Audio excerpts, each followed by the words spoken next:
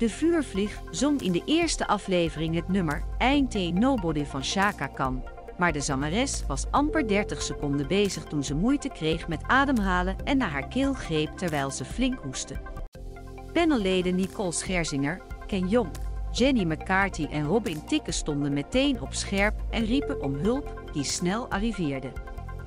Backstage bleek dat het gelukkig allemaal meeviel en even later deed de vuurvlieg, die volgens fans singer-songwriter Tiana Taylor is, een tweede poging.